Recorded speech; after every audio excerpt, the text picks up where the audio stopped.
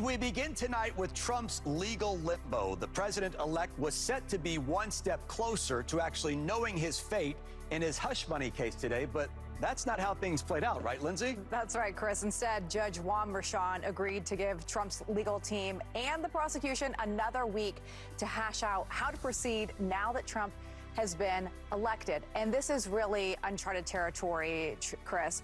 All parties will be back in court in one week on November 19th to make new arguments about what's next. And you'll remember back in May, Trump was convicted on 34 federal counts for falsifying business records. But the Supreme Court also ruled this summer that a president should receive broad immunity from official acts carried out while they are in office. So, here to help us better understand what's next is someone who has handled several high profile cases, federal defense attorney Ronald Chapman. Ronald, thank you for being here. So, Judge Merchan was expected to decide whether to overturn Trump's conviction or possibly set a new trial trial, but neither happened today. So what's next? Well, what's next is that Judge Merchan's going to have to make a decision on this. The reality is that prior to the trial happening in this case, they should have determined whether or not official acts were going to be part of the evidence. Alvin Bragg submitted official acts as evidence. There's a very good basis for dismissal. But Judge Merchan needs a bit more time to figure this out. And so he just today has delayed a lot of the dates in this case so that he can make sure that he makes the appropriate ruling, which I, I certainly support. And it's interesting here because New York Attorney's General Letitia James, she said last week that her office isn't backing down. So ultimately, who holds the power here?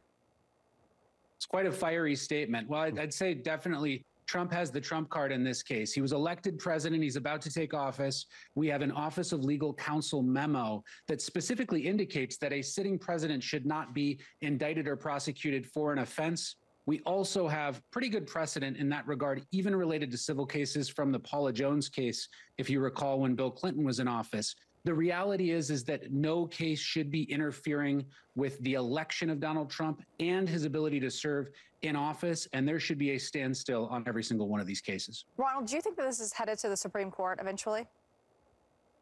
I think certainly there's going to be something bubbling back up to the Supreme Court if any of these entities, Fulton County, Judge Merchan in New York, uh, or Attorney General Letitia James elects to proceed with some of these issues, I certainly could see that happening. I would say, though, the New York Court of Appeals, the appellate court there, is going to make quick work of the civil case and civil judgment um, brought by um, Attorney General James. Um, I think they're probably going to make quick work of dismissing it based on the oral arguments that have already occurred. You know, it sounds crazy, but we're talking about a convicted felon who was just elected president. Now, his defense team and the DA will have different views on the appropriate next steps in this case, other than what each case, other than what each side, I guess, will argue. What else will factor into the judge's decision, do you think?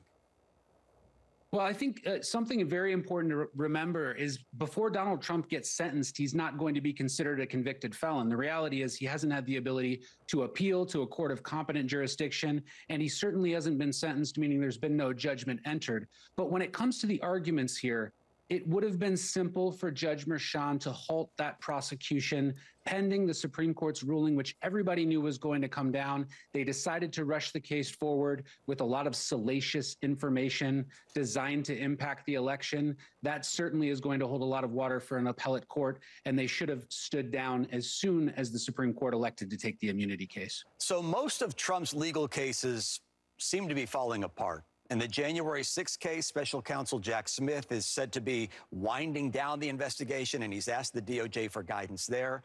The classified documents case in Florida, well, that one's already been dismissed. And in Georgia, the election interference case has been delayed several times due to the Fulton County District Attorney Fani Willis. So, would some may say that you know these delays and these dismissals tell us that these cases really had no validity all along, but others may argue if you're president you're kind of untouchable. So, so Ronald, who's wrong here? Well, it's going to be that's going to be really tough to parse out. I would say if we look at the cases one by one, I would say that the classified documents case was probably going to be the one that should have hurt Donald Trump the most. That being said, we had President Biden engage in very similar conduct, and that's not traditionally something we bring against a president. The rest of the prosecutions, it's hard to look at them and say that they are anything but political given the way that they came down. Specifically, the New York prosecution, Judge Merchan, we have uh, falsification of records allegedly to cover up something, but we're not clear what that is. And the jury wasn't even allowed to tell us. It's a very strange case brought for very strange reasons.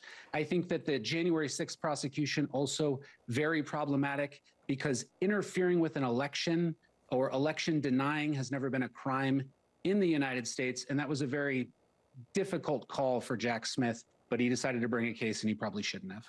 Real quick, where does Stormy Daniels fall into all of this? She was ordered to pay Trump's legal fees totaling $560,000 in a failed defamation lawsuit.